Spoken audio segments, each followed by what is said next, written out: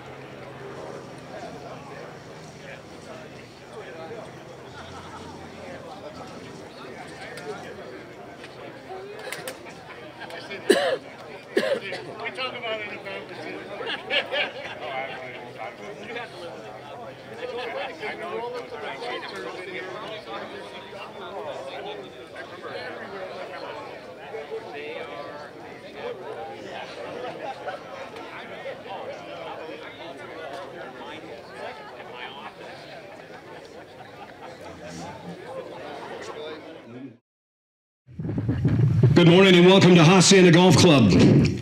Um, this, host, this course has been hosting golfers from around the world for over 100 years and was founded in 1920. So after three years at Friendly Hills, we decided to just make some changes and see how that would affect the turnout. Uh, we're very proud of the fact that you support the Live Like Jack Foundation as we were able to sell out 75 days in advance. So we'll always be grateful for your support and thank you. Uh, this is a very special day for us, and we're delighted to have you here at this special event, just commonly known as the 2022 Live Like Jack Golf Tournament. And we're excited to get this tournament started, and I would like to introduce Father Dave Henney, pastor from St. Bruno's Parish, for the opening prayer.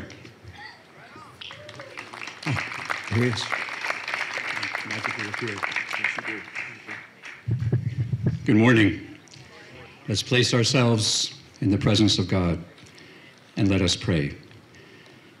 Heavenly Father, we arrive grateful for all the blessings we have already received today already.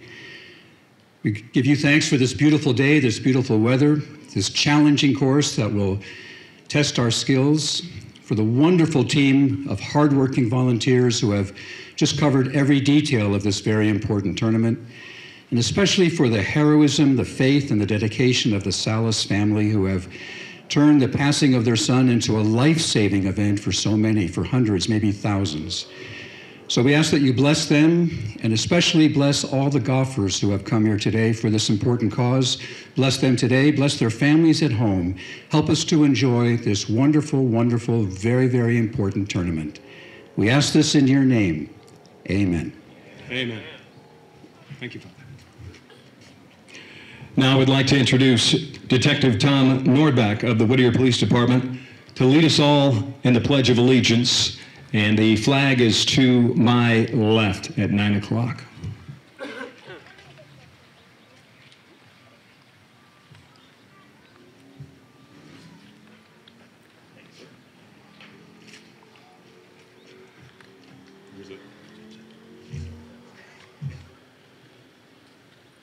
All right, gentlemen, if you could all remove your hats. I know it's hot.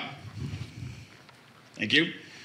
And ready, begin. I pledge allegiance to the flag of the United States of America.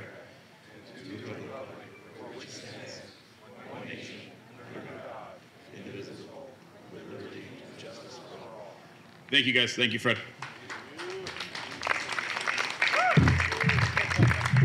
You know, the Pledge of Allegiance is really a piece of writing genius. It begins with I and it ends with all. Okay, now it's time for a very special guest. And it's a great pleasure to introduce Anne Marie Francis, who will sing our national anthem.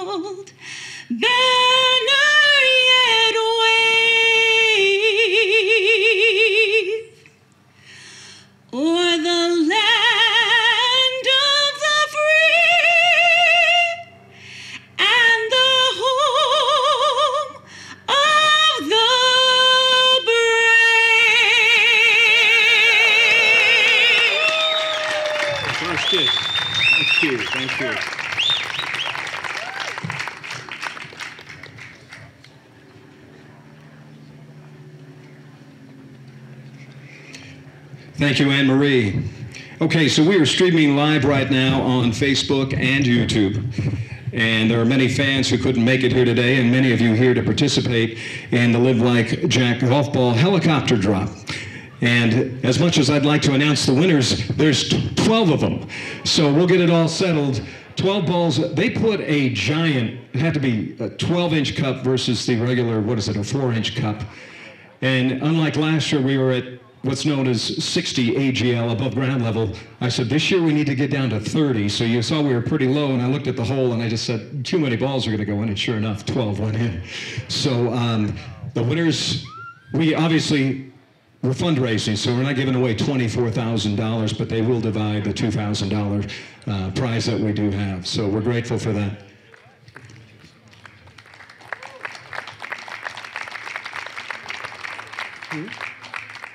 No, it's going to take uh, once again, so special gratitude that we extend our appreciation to all of you in attendance and a special thank you for those who have participated for the past four consecutive years, as well as all of our sponsors and banners and signs that are out on the course throughout the course. But give yourselves a round of applause if you've been here for all four golf tournaments. We are grateful and we continue to grow the Live Like Jack Foundation. Thank you.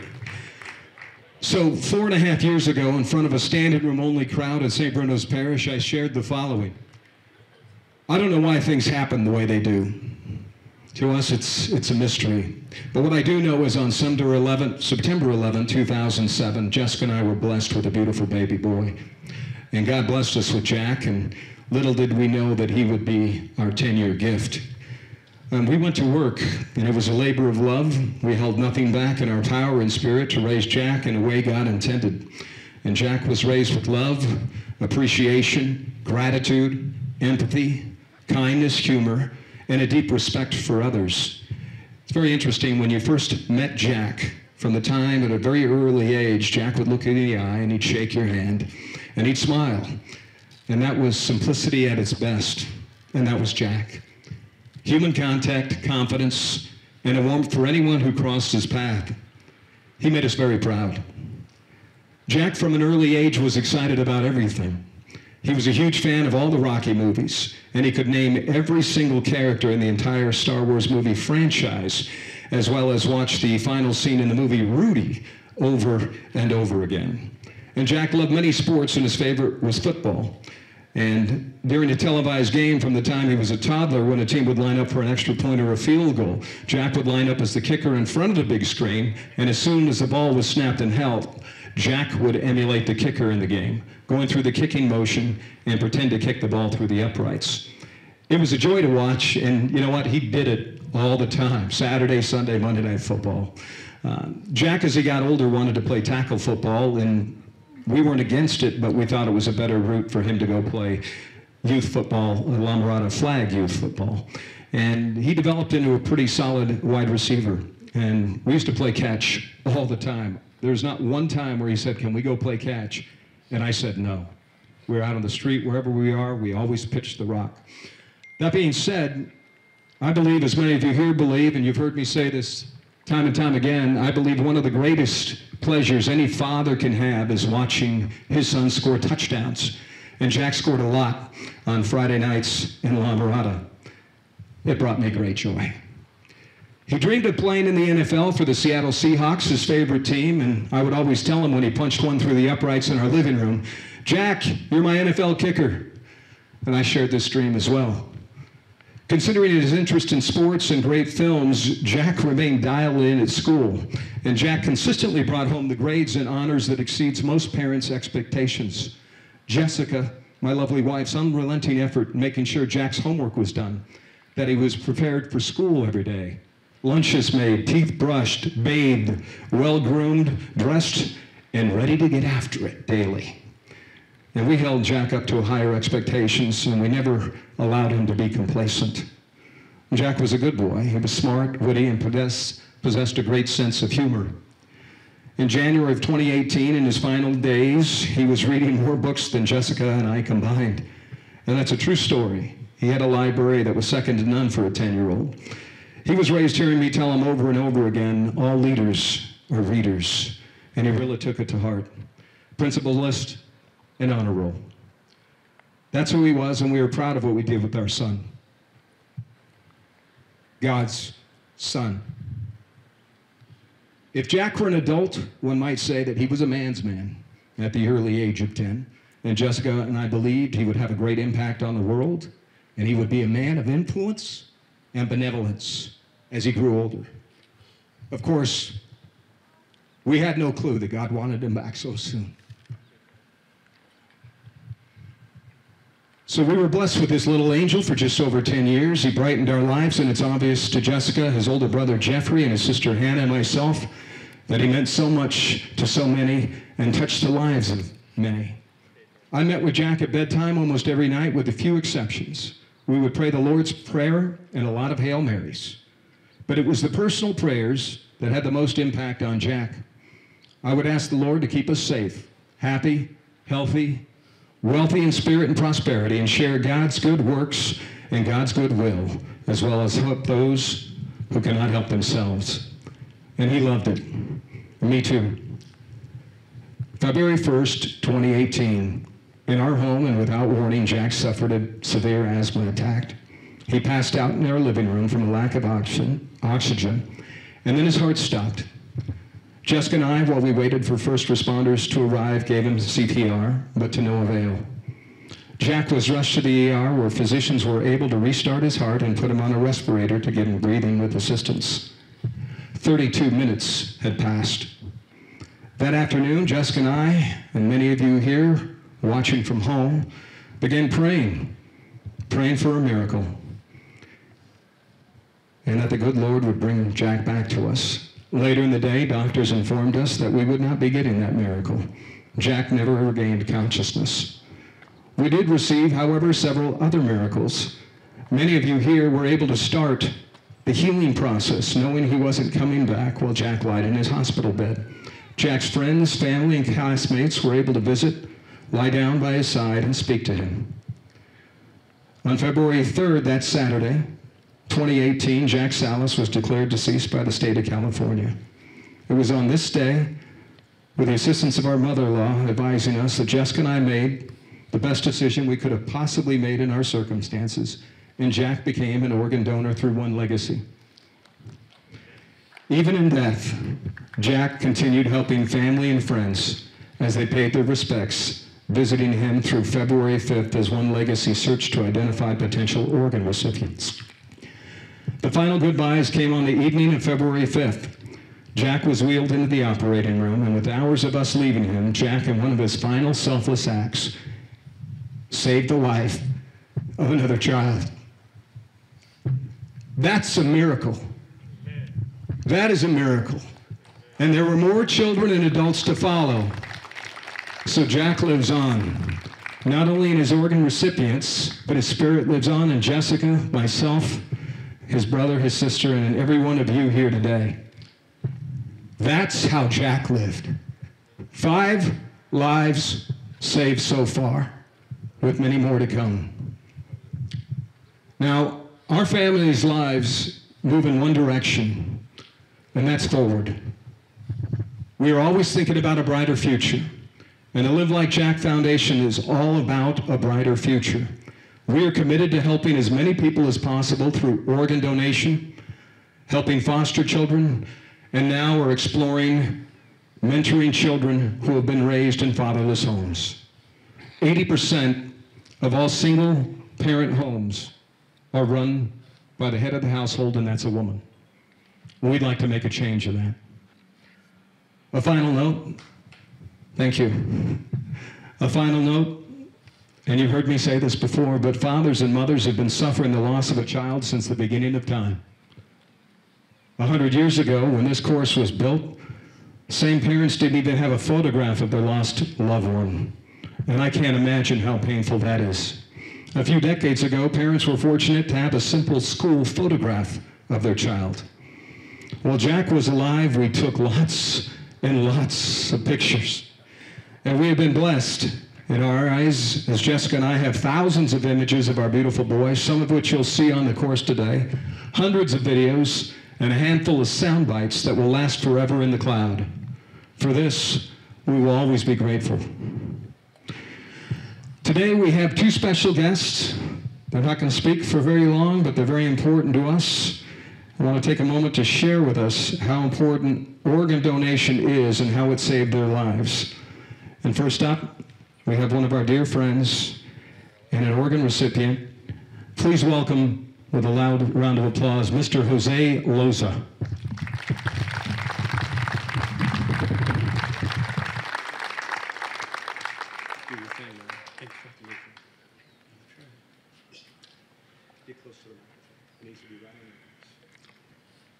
Good morning. My name is Jose Loza, and I had type 1 diabetes for 35 years. Two and a half of those years, I was on dialysis. And three years ago, I had a dual organ transplant. I received a kidney and a pancreas. These organs got me off of dialysis, and I'm no longer diabetic. My organ donor, my organ donor was a 31 year old 31 year old who lost his life. This thoughtful young man is a stranger to me, but I am forever grateful for the thoughtless. I'm trying to trying to for the thoughtless act of becoming an organ donor.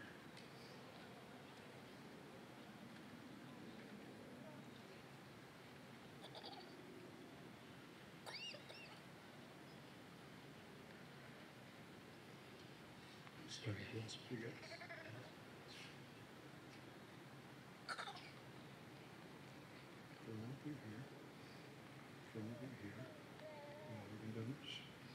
For all of you here who are organ donors, thank you.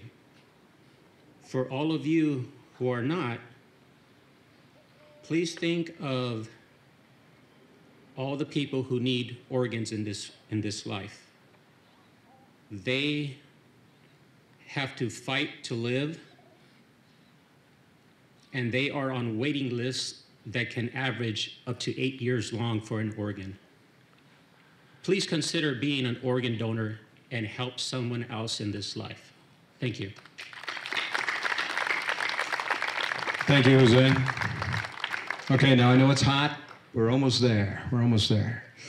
So, our next guest has got a couple of things to say. I would like to introduce, and just keep in mind, we know of five lives that Jack has saved so far.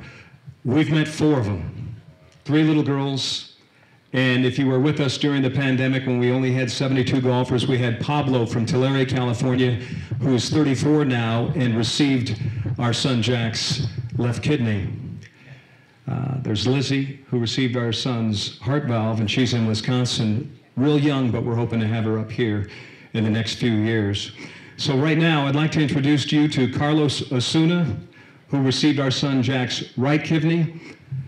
And now, Mr. Carlos Osuna. Where is he?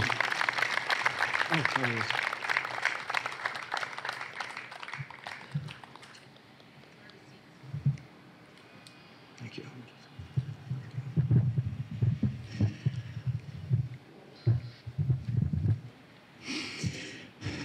Hi, Fred.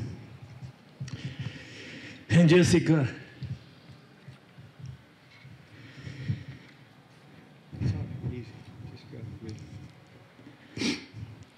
And all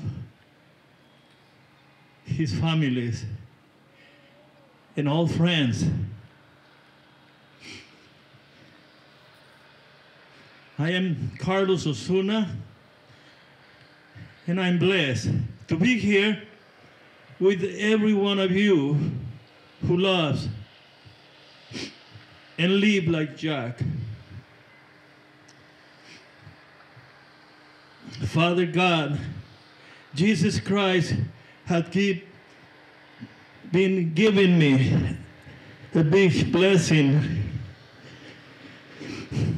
by being a receiver of a Jack right kidney that really changed my life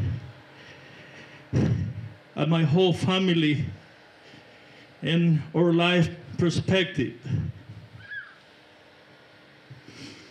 By giving me now a new life opportunity to be part of a new, lovely Jack's parent and family and friends. And I really love you all in the name of Jesus Christ. Amen.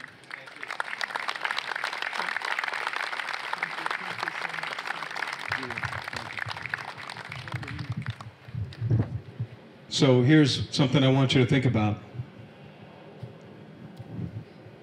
Right here organ donation. That man is alive and well and a grandfather multiple times over because of our son. And we hope that his children and his grandchildren have an impact on this planet as well as all the other recipients. So thank you, Carlos. All right, it's almost time to play golf. But right now, just a few words, last speaker. I want to introduce a man that makes it happen. He is the man behind the scenes at One Legacy, the CEO of One Legacy, and a friend of the Live Like Jack Foundation, Mr. Tom Mone.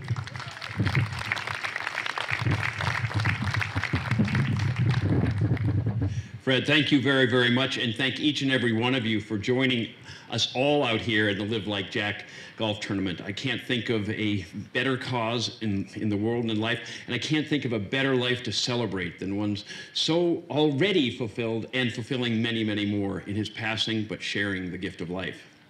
At One Legacy, we work 24 7 with families like the Salas family around all of Southern California to help people make the choice to give the gift of life and, and save others. Part of our work is to help in the community is to help dispel the myths, to get the pink dot, people to check off for the pink dot, and get past the myth that doctors won't try to save them. You heard Fred describe very well that they doctors worked diligently to try to save Jack's life, but in the end, sometimes they cannot. But that did not stop Fred and Jenny and the family from making the decision to give the gift of life it, because they knew that they could make Jack's life complete and fulfill his life cut way too short by helping save and heal others. Um, the gift of organs, eyes, tissues can save 75, more than 75 people uh, around the country and around the world. Uh, and it is at events like this that we try to get the word out to remind people of the importance, the critical importance of checking that box of the DMV and saying, yes, I want to be a donor because only that way will we be able to save all the lives, like we just heard from this gentleman here who had his life saved and his family returned and his life returned to him through the gift of Jack's kidney. So, most importantly, though, and one of the reasons I love to come to the Live Like Jack tournament is Jack's life is a reminder. It's an inspiration to all of us of why we strive to give the gift of life. Our goal is to inspire people to donate, and Jack is the greatest inspiration we have to share that message. So, Fred, Jen, Jessica, thank you very, very much for holding this tournament and inviting One Legacy. Thank you. All right, so a lot of people every now and then ask me, so where does all the money go? Well, our endowments, the vast majority of them are to One Legacy because they were with us when we needed them. And it was an amazing experience as we reflect back on it. And then, of course, we are helping a lot of foster children. And that's important to remember because there's a lot of foster children out there that don't have either parent. And if we look to the future, we have to think about development for those children so they become highly productive adults, not just existing adults, but productive adults. And that's one of the directions the One Legacy and Live Like Jack Foundation is moving. And of course, we would like to make a move to get the DMV an opt-out versus an opt-in, and that's something we'll work on. So that way you would have to actually opt out to not be an organ donor. But at this time, Jessica and I, Jeffrey and Hannah, and the entire Live Like Jack Foundation group would like to present this $10,000 check to Tom Mone and One Legacy.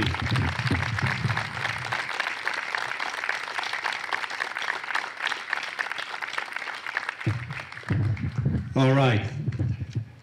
That concludes the opening ceremonies. A lot of you out there, oh, thank God, it's over.